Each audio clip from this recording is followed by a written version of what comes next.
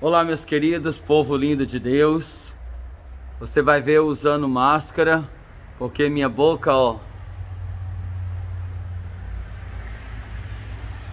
Olha o tamanho. Então, já viu, né?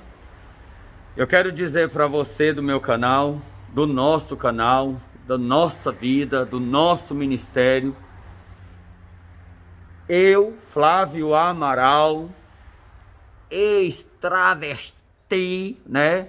E eu grito nos quatro cantos do planeta que eu sou isso, que eu fui isso, que eu fiz isso, para que outras vidas sejam edificadas e que as pessoas tomem vergonha, tenham atitude em suas vidas de mudar, de mudar de comportamento, de falar, andar, caminhar, mudar de preferência as amizades. Amizades, viu? 1 Coríntios 15, 33, corrompe os bons costumes. As más, as más amizades corrompem o bom costume. Eu sou uma pessoa abençoadíssima. Eu tenho tanto testemunho para contar para você de vitória que eu não conto muito nas redes sociais.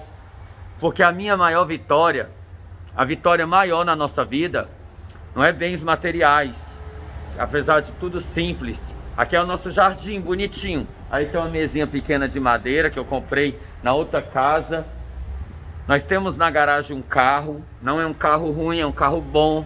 Nós temos os móveis bonitinho foi um dinheiro emprestado e uma benção que eu ganhei de uma membro do nosso grupo Libertos por Deus, que veio da Suíça para cá.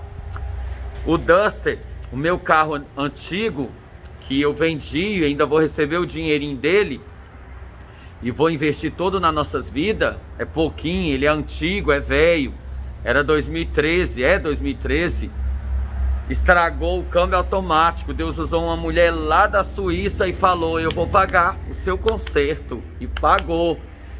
Nós temos uma cama para dormir, um guarda-roupa. Os dois meninos estão aqui, Edivaldo Rafael, vê tudo que a gente faz. Aqui na minha casa toda semana tem pessoas. Eu sou uma pessoa abençoada. Quem é de Jesus, quem faz a obra de Deus, não vive na derrota. Quem faz a ah, pastor, eu faço a obra de Deus, mas eu estou sendo humilhado. Eu faço a obra de Deus, pastor, mas eu estou sendo escandalizado. Eu faço a obra de Deus, pastor, mas a minha vida é prova, luta, deserto.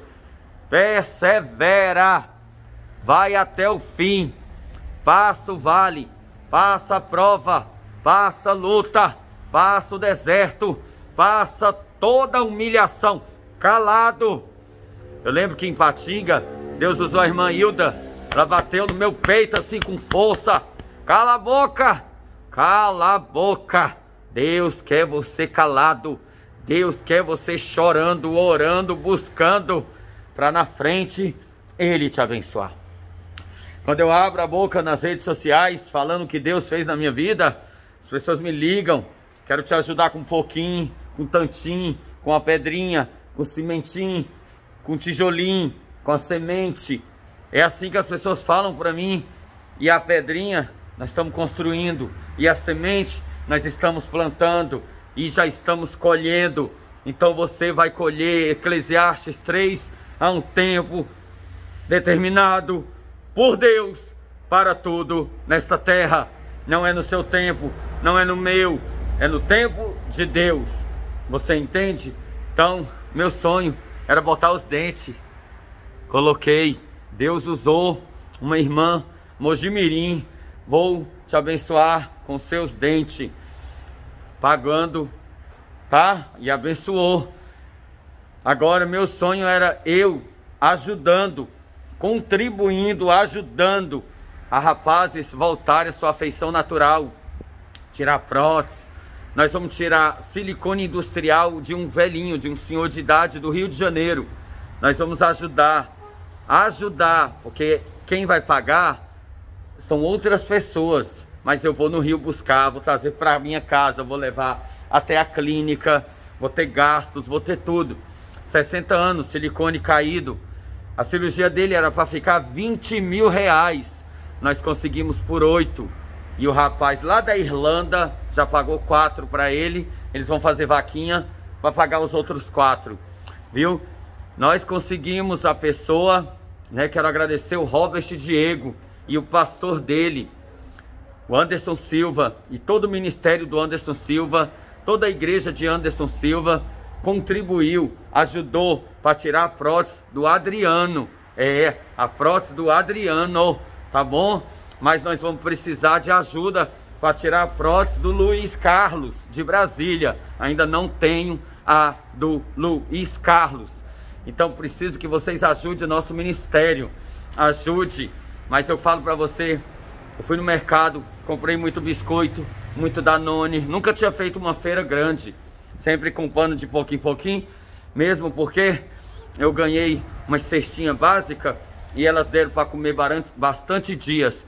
Então, Deus não desampara você, Deus não abandona você, você nunca estará só.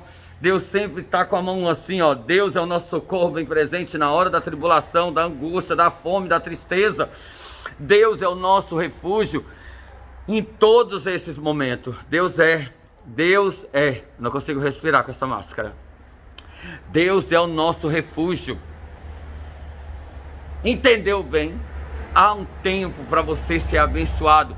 Quem serve a Deus, quem faz a obra de Deus, não vive derrotado. Eu tenho um amigo, tenho um amigo em Itu, Paulo. O Paulo, Deus usou uma empresária e deu um carrinho para ele, um carro bom, novo. Tome, Deus mandou eu pagar o boleto, pagar as prestações, pagar para te ajudar. Então Deus honra, Deus dá esposa, Deus dá marido, Deus dá beleza, Deus dá cabelo, Deus dá saúde, Deus é que dá Deus é que ordena, Deus é que dá ordem na tua vida.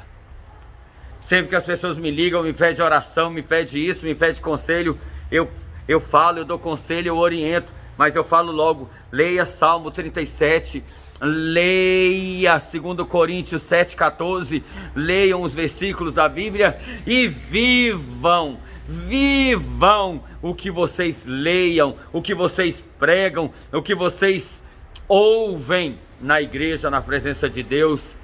Largue o mundo, largue as coisas do mundo, renuncie. Você precisa renunciar o seu eu. Músicas mundanas, vida mundana, vaidade excessiva, vaidade demais, tudo demais. Minha avó dizia isso. A minha avó dizia isso. Tudo demais é sobra, é sobra, não presta. Você precisa ser moderado, ponderado. Você precisa ser lapidado. E você só vai ser na presença de Deus. Quando eu pegar o documento dessa casa, eu quero dar um testemunho, te mostrar tudo que Deus deu para nós. Deus deu, nós não compramos nada nós não compramos, nós não somos ricos, nós não temos dinheiro. São pessoas, eu tenho um grupo de apoio, tem pessoas que ligam para mim e falam, pastor, eu quero te abençoar com o celular e me abençoou. Pastor, eu quero te abençoar, você tem mesa, te dou uma mesa. Pastor, você tem uma cama, tem uma irmã da Suíça que, pastor, eu quero abençoar você para você comprar roupa para você e para Andréia. E eu fui lá na loja, comprei roupa no Silk. No Silk Deus usou uma pastora lá do Silk da Tânia Teresa e disse: Vou lhe dar uma oferta para você comprar roupa para você vestir. Aí eu falei: É mesmo. Eu peguei essa oferta, entrei na Riachuelo e comprei um monte de roupa para mim, irmão. Roupas lindas. Isso aqui é doação, isso aqui é dado. Meu amigo querido, amado de Deus que nos ajudou a comprar uma casa, nos deu dinheiro. As pessoas abençoam a gente porque a gente faz a obra de Deus. Quem faz a obra de Deus não vive na derrota. Você precisa entender isso. Você precisa largar o mundo, você precisa largar o seu eu, você precisa se sujeitar a Deus e resistir o diabo. Leia Tiago, o livro de Tiago é perfeito. Mas as pessoas é reclamando, é murmurando, é desfazendo uns dos outros. Você entende o que eu quero te dizer? Tem um monte de dias que eu ia fazer, que eu falei que eu ia fazer o um vídeo sobre homens, que não tem mais, tá, tá em falta, tá em extinção.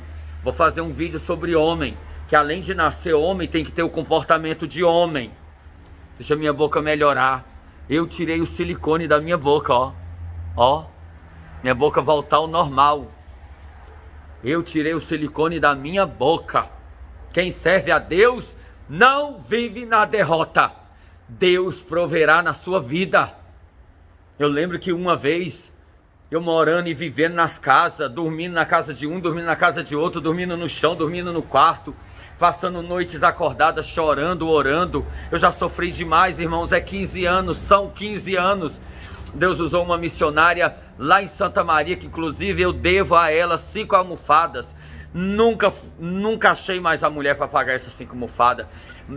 Ô Rosa, ô Rosa, se um dia você ouvir esse vídeo, Rosa, entra em contato comigo que eu quero pagar cinco almofadas, Rosa. Misericórdia da minha alma, Rosa. Quero te abençoar, Rosa. A Rosa orou por mim, botou a mão na minha cabeça. Eu não consigo achar ela na Santa Maria, em Brasília. E disse: Deus vai te dar uma mulher.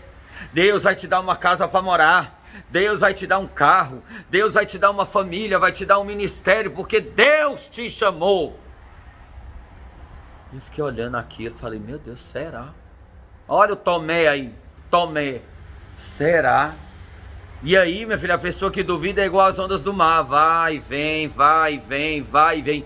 E assim foi a minha vida durante mais de 10 anos, por duvidar, por não crer, tudo que me falava, eu falava: será? Quando? Quando vai ser? Oh, meu Deus! Lamentações de Flávio Amaral. Mas no dia que eu falei, eu vou esperar. Eu vou confiar. Eu vou me firmar. Vou largar Beltrano, vou largar Ciclano, vou largar Marizinha, vou largar Chiquinha, vou largar o Chiquinho, vou me abandonar fulano, ni, i, a, u, a, tchá, a, a, tudo. Só soletrei alguns nomes iniciais de pessoas que eu vivia mancamunado. Aí caía, levantava, caía, levantava. Passava era vergonha. Passava vergonha. Porque as próprias pessoas que me ajudavam contribuíam para eu cair passava na minha cara, tu não é crente? Porque tá fazendo o que aqui?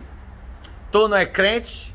Ei, Jeremias 9, 10 diz: Eu dou a cada um segundo o fruto de suas mãos e o caminho dos teus pés. Tá indo para onde? Tá fazendo o que com as tuas mãos? Só merda! Ainda quer ser abençoado? Tá orando por quem? Tá ajudando quem? Tá abençoando quem? Deus disse a Abraão: Se tu uma bênção que eu te abençoarei. Por onde for, aonde pisar os teus pés, se tu uma benção. Quem faz a obra de Deus não vive na derrota. Beijo no coração.